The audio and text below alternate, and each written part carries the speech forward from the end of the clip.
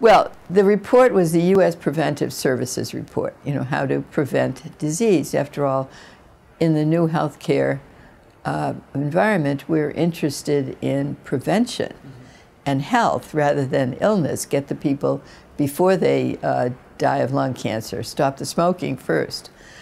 So, in all aspects of medicine, that's of interest.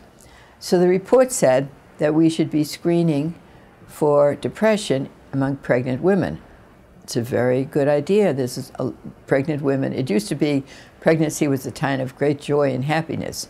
And of course, when the studies were done, it showed that it's a time for some women of, of great anxiety and depression, especially if their primary relationships are having problem. So they recommended it. Well, we know that if depressed pregnant woman is screened, she'll get a medication because it's cheaper, it's easier, it's available.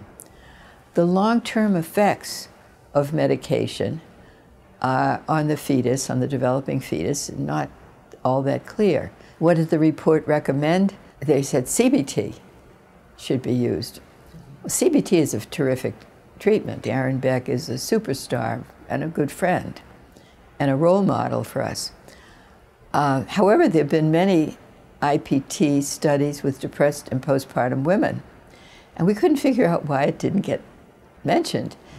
And we think that IPT is a good, the whole theory behind it is a good one for pregnancy because you have a transition to being a mother, you have disputes uh, that occur during the pregnancy, uh, you have loss of change of job, there's so many other things that happen.